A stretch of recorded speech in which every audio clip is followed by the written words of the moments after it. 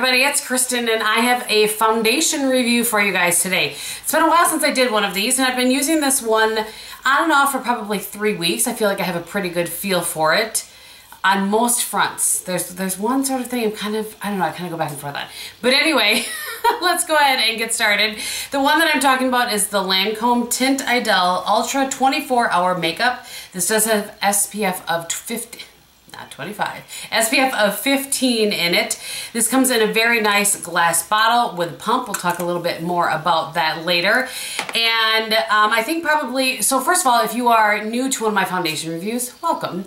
And I have a five point system. I have five categories that I give anywhere from zero to one point and then I come up with a total at the end. So I'm going to go ahead and cut right into the demo of me putting on the foundation, let you see that, and then we'll come back and talk about the rest. Okay, so we are gonna see how lighting goes here.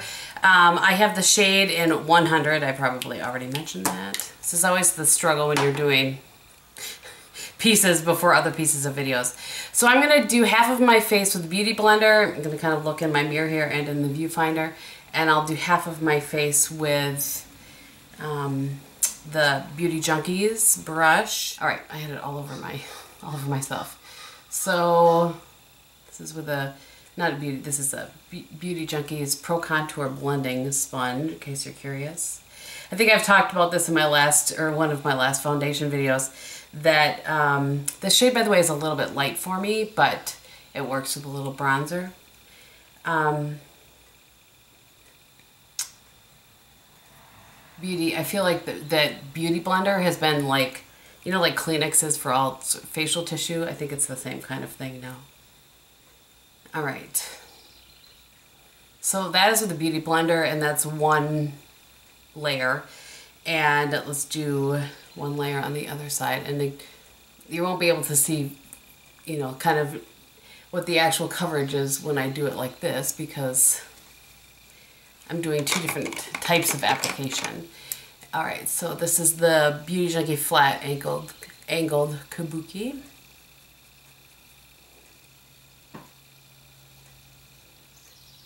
Can see how nice and easily. I do have, by the way, the Becca First Light priming filter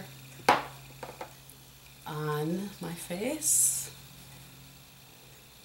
All right. So you can see, I feel like I get a better, you know, better coverage with this, which makes sense. Normally the a beauty sponge will kind of sheer things out a little bit. So I, I no longer live on, on a dead end. So I have to stop regularly when, when vehicles go past. But I'm happy to have the windows open. Can you hear the birds? Hopefully you can. All right, we're going to go in for another layer.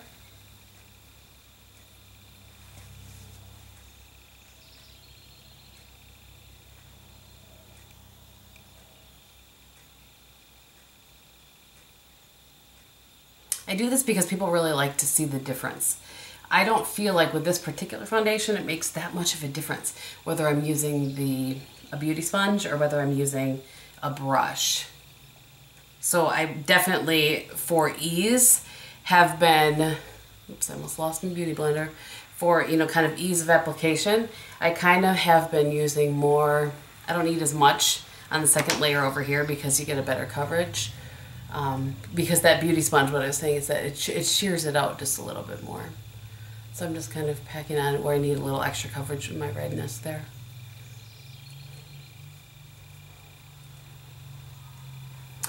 So you can see, hopefully, you get, with the Beauty Sponge, with this or with most foundations, you get just a little bit more of a glowy sort of a look on, you know, so that's the side of my face with the Beauty Sponge than you do with this. But coverage-wise, I feel like you build up a little bit more quicker, more quickly with a, like a dense sort of kabuki brush. So anyway, again, Beauty Blender, brush.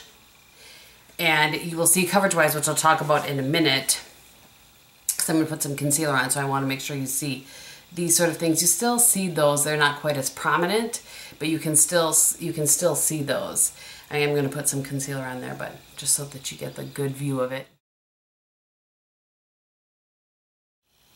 Okay, so before I get into, um, you know, the points and that sort of thing, I want to just read you what it says. I'm using this from Sephora's website. It says it's an oil-free, long-wearing liquid foundation that delivers medium to full coverage and leaves a natural-looking velvety matte finish for up to 24 hours. So I don't feel like you can really build it to a full coverage. As, as I showed you guys, you can still see some of, you know, kind of my older, that's like an older blemish where there's a like a darker pigmentation or whatever on my cheek spit it out game. So I don't feel like it really builds to a full coverage. It's a very nice medium to medium full, uh, which is why I'm giving it a 0.75. I, you know, it, and it does, it has, um, well, so we're gonna move on finish. And that's the that's the category where I'm kind of iffy about. So it does have a really nice finish. It's it's it is a velvety matte finish. Some days I love the finish and I think it looks great and some days it just doesn't. I've tried it with different types of primers, different types of days, um, you know, hotter days, just normal cool days, that sort of thing. So I'm, I'm a little bit iffy on it. Now, and I'm sorry, I should have mentioned this at the beginning. I do have, I lean towards the drier side of, of, of skin. And I feel like it's almost not fair for me to do a foundation review in, in summer because it's not necessarily how it may react in the winter. So I may do kind of a follow-up if I still have it, but I'm, I'm happy with it and I've been using it quite a bit. I've been switching it on and off between that and the Missha Perfect Cover right now. But at any rate, so for um, finish, I'm going to give it, let me just see what I did. Yeah, I gave it a 0.5 and that's only because I feel like some days it's great and some days it's not. So I'm kind of a little iffy on that. So that is finish and coverage. So for color range, I'm giving this a full point. There are 40 shades. Yes, I said 40 shades. I think that's that's just crazy good. They really sort of run the gamut of shades and that's great. I, I, I just, I love that about this. So I'm very, very happy with that. Um, packaging, I gave this a full point as well. It is a glass bottle, but it's not, you know, some glass bottles are super heavy. This this one doesn't seem to be all that heavy. I've traveled with it and have had no issues. It's got a pump and a nice cap. The cap stays on. I like that. I, I think as you, um, if you are a person that travels quite a bit, you learn it's the little things that make a difference and a cap that stays on makes the difference. So anyway, nice sleek little bottle. It's a, it is a one ounce. Yep. I double checked. It doesn't, I couldn't find it on here, but I found it on the website. It is one ounce of product, which is your standard. And on here it says wear and comfort, retouch free, retouch free divine perfection. I don't know about divine perfection, but anyway. So then the last thing that I have on there is longevity and it really does last. Um, and I don't have any powder on today. I have used it with a powder foundation over the top of it and without. For me to be able to go without a powder foundation, even with my dry skin for some reason. Usually more oily skin, people have issues with longevity. Um, for me, I almost always have to put some kind of a powder foundation, not only for coverage, but also, you know, for longevity. I don't have to do that with this, and that is really nice.